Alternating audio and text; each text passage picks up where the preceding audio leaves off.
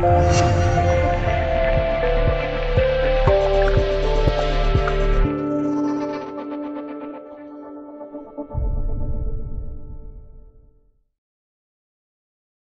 《每日邮报》报道，近日一名阿根廷男子因爱生恨，持枪闯入前女友与新欢住所，意图报复，却在逃离现场翻越围栏时意外扣动扳机，误杀自己。讽刺的是，前女友的新欢在中枪就医后活了下来。据悉，这名男子名为阿尼巴尔，他的前女友卡瑞娜和新欢丹尼尔住在卡瑞娜位于阿根廷松柏多镇的家里。当天，阿尼巴尔手持一把零点二二口径的来福枪，气愤地找到卡瑞娜和丹尼尔，先是发生了激烈的争吵，之后在极度愤怒之下，对着丹尼尔连开四枪，分别打中了丹尼尔的胸部和手臂。事后，阿尼巴尔离开枪杀现场，卡瑞娜立即听到屋外的枪响，他冲出去看到阿尼巴尔已经悬挂在金属围栏上，当场死亡。地上有一滩血迹正在扩散，警察赶到现场后，先遮盖住了阿尼巴尔的尸体，